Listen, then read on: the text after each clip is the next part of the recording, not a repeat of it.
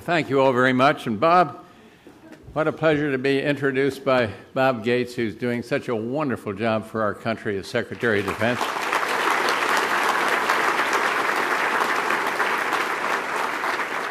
I want to thank Mika and Joe, who are now modestly off in the corner somewhere. Here they are. What they're great, great people on the television and great people here tonight. And uh, Thomas Hampson, who did that wonderful rendition of "Bring 'Em Home," uh, outstanding voice. I know what you think now you need is another speech. So uh, before I get to the matter at hand, uh, let me simply say that it is great to be here. I bring you greetings for Barbara Bush, the, uh, the uh, Silver Fox. Frankly, I'm glad she's not here. Every place we go, how's Barbara? Where's Barbara? I was the president, for God's sake.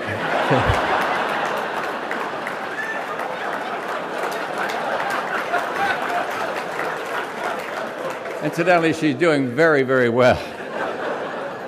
I want to salute Chuck Hagel, Fred Kempe, and of course my dear friend Brent Scowcroft, who, uh, Colin Powell just said, This is the eighth time you've been announced, Scowcroft. Get up there. Every time they mention his name, why, we're, we're honored, and you're, you're well, well positioned to have him um, take an active role in this council. Uh, other Congress, other former colleagues are here. I want to single out former pre- uh, well, Pre- Presidente Aznar of Spain, President Krajewski. Kwasniewski, who's here, uh, and uh, you've got a wonderful group of people. It would be a high honor under any circumstance to receive this leadership award from this prestigious organization, but to do so in conjunction with my respected friend and former colleague and black belt eater, Helmut Kohl, is an honor I will never forget. And given my memory these days, that's saying something. I'm, I was so pleased to see Horst Teltschik here this evening, even though his presence here is necessitated by, you might say, unfortunate circumstances. Please give the Chancellor our warmest regards, Horst. I was deeply touched by the letter I recently received from him and tell him I look forward to being with him this fall in Berlin. Of all the political leaders with whom I had the privilege of serving, few match the singular leadership and political courage that I witnessed time and again in Helmut Kohl. When he became chancellor in 82, the Atlantic Alliance faced one of its greatest challenges of the Cold War over the decision to deploy Pershing II missiles. Shortly thereafter, uh, President Reagan asked me to go over there to Germany as vice president to help sell the program. And I witnessed firsthand the intensity of the public opinion against it. Believe me, you haven't lived until you've had your motorcade egged in Krefeld, Germany. I mean, these people are coming from everywhere. But it's been said that hope is putting faith to work when doubting would be easier.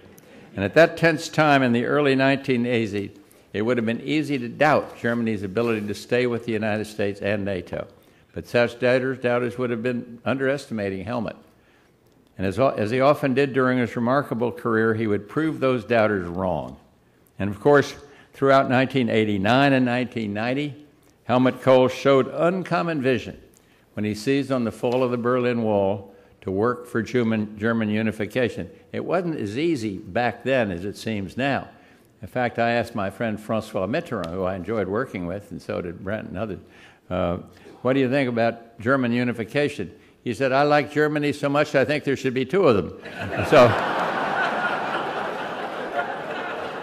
True story. But there was a lot of, lot of doubters back then. The prospect of uniting Germany at that time was not what they call a gimme in golf. But Helmut Kohl would not be denied. Once again, he would prove the doubters and his critics wrong. And looking back now, it's easy to understand why my respect for him knows no bounds. Let me add a kind word here also about Mikhail Gorbachev who also deserved great credit for his pivotal role in shaping and facilitating the events we celebrate here this evening. Without Gorbachev's understanding and vision, we might not have had such a smooth transition to a unified Germany inside of NATO. If it hadn't been for Mikhail, I'm not entirely sure the Cold War would have ended peacefully, or that German would have, Germany would have been unified within NATO, or that Eastern and Central Europe would have risen from the abyss to join what is today a Europe whole and free. As for me, I would simply like to salute the capable men and women I had at my side during four years of genuine change and challenge. Together, we not only upheld the public trust placed in us, we also helped to leave the world a safer and more secure place that we found it. And the gratitude in my heart for their loyalty, their selfless service, and their friendship is beyond my limited gifts of expression. So thank you for this high honor. My sincere congratulations to the other well deserving honorees, but most of all, my best wishes for the continued work and success of the Atlantic Council and its vital mission. Let me add a personal note.